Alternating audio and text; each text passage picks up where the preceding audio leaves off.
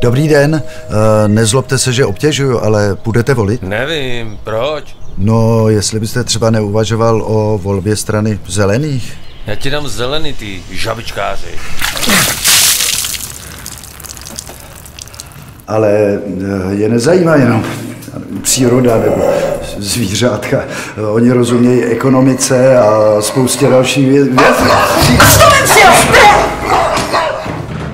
Oni za sebou například nemají žádný korupční skandál a No, ukážu ti skandál, ty sokolíku.